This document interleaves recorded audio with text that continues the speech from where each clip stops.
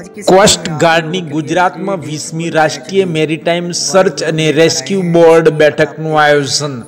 ભારતીય તટરક્ષક દળ દ્વારા ગુજરાતમાં વીસમી રાષ્ટ્રીય મેરીટાઈમ સર્ચ અને રેસ્ક્યુ બોર્ડ બેઠકનું આયોજન કરવામાં આવ્યું હતું, જેમાં દેશની આશરે ત્રીસથી વધુ વિવિધ એજન્સીઓના વડાઓએ ભાગ લીધો હતો.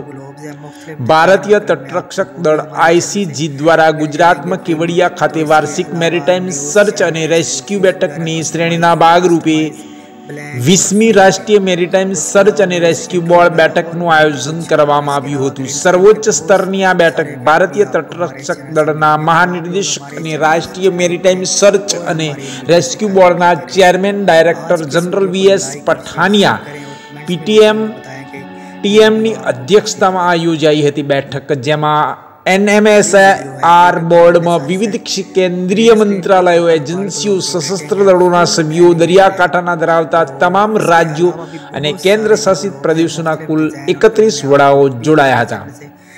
અને તેઓ ચાર પોઈન્ટ છ મિલિયન ચોરસ કિલોમીટરના વિશાળ ભારતીય સર્ચ અને રેસ્ક્યુ પ્રદેશમાં દરિયાઈ ખેડૂઓ અને માછીમારો માટે રાષ્ટ્રીય મેરીટાઈમ સર્ચ અને રેસ્ક્યુ પ્લાન તેમજ સેવાઓ પૂરી પાડવા માટે દર વર્ષે ભેગા મળીને નીતિગત મુદ્દાઓની ચર્ચા વિચારણા કરવામાં આવી હતી. ઉપરાંત માર્ગદર્શિકાઓ અને પ્રક્રિયાઓ ઘડવામાં આવી, જે તેની કાર્યદક્ષતાનું આંકલન કરે છે. આ બેઠક દરમિયાન ભારતીય રાષ્ટ્રીય સમુદ્રી માહિતી સેવાઓ કેન્દ્ર અને ભારતીય હવાઈ મથક સત્તામંડળ દ્વારા સંયુક્ત રીતે તૈયાર કરવામાં આવેલ સર્ચ એન્ડ રેસ્ક્યુ સહાય ટૂલ ઇન્ટિગ્રેટેડ સર્ટ વન સંસ્કરણ વન પોઈન્ટ ઝીરોનું પણ લોન્ચિંગ કરવામાં આવ્યું હતું.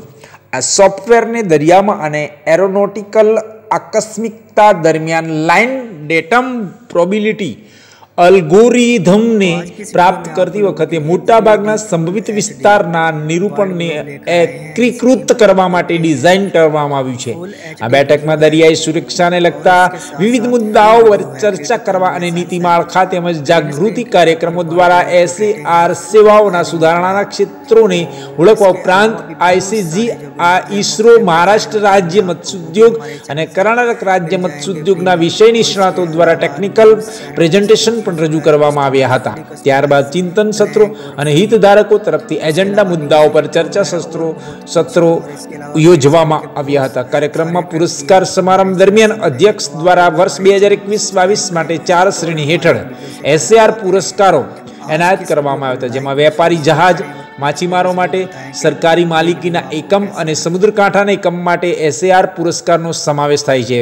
વેપારી જહાજ માટેનો એસએઆર પુરસ્કાર ભારતીય ફ્લેગ કરેલા જહાજ એમવી સેન્ટિયાગો અને પનામાના ફ્લેગ કરેલા જહાજ એમવી એલાયન્સને માછીમારો માટેના એસએઆર પુરસ્કાર પશ્ચિમ બંગાળની નોંધાયેલી માછીમારી બોટ કૃષ્ણા નારાયણના માસ્ટર રામદાસને ઉપરાંત સરકારી માલિકીના એકમ માટેના એસએઆર પુરસ્કાર આઈસીજી જહાજ અનમોલ અને કેન્દ્રશાસિત પ્રદેશ લક્ષદ્વીપ વહીવટીતંત્ર એમ, એમએફ, વી અને બ્લુફિનને સંયુક્ત રીતે એનાયત કરવામાં આવે જ્યારે સમુદ્રકાંઠાના એકમ માટેના એસઆર પુરસ્કાર ગુજરાત મેરીટાઈમ બોર્ડ, જીએમબી અને તેમના પેટા યુનિટ વીટીએસ ખંભાત વતી તાત્કાલિક બચાવ સંકલન પ્રયાસો હાથ ધરવા બદલ આપવામાં આવ્યો હતો.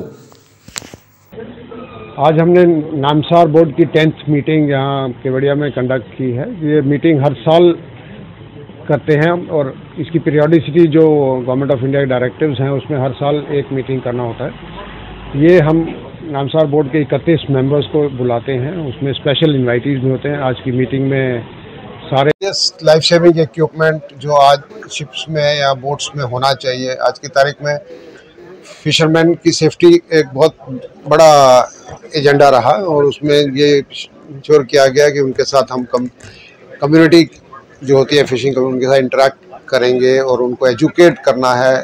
सारे जो बोट्स होते हैं, वो लाइफ जैकेट्स लेके नहीं जाते।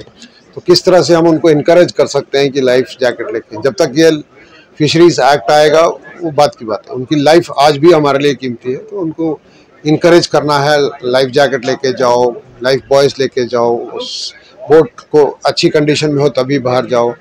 और जब कोस्ट गार्ड या अदर एजेंसीज आपको आने वाले तूफ़ान की वार्निंग देती है तो कंप्लाई करके वापस आ जाओ। ये मेन मीटिंग सर खास करके गुजरात में हुई पहली बार ये मीटिंग गुजरात के लिए खास कोई पॉलिसी नहीं गुजरात में पहली बार नहीं हुई है आज से चार पाँच साल पहले हुई थी गुजरात में तो ये हम डिफरेंट स्टेट्स में करते हैं ताकि वहाँ के जो लोकल मेंबर्स होते हैं उनका नंबर ज़्यादा होता है। अदरवाइज़ आउट स्टेशन जाने में तो जो की मेंबर्स वो आते हैं और लोकल जो पॉपुलेशन होती है उसको भी इसके बारे में पता है। जिसमें फिशरीज और डीजी शिपिंग फिर आपके मेरीटाइम बोर्ड्स के member air force navy coast guard तो और डीजी कोस्ट गार्ड इसका चेयरमैन होता है। और इसमें यहाँ के state C I S F and क्या बोलते हैं उसको आप?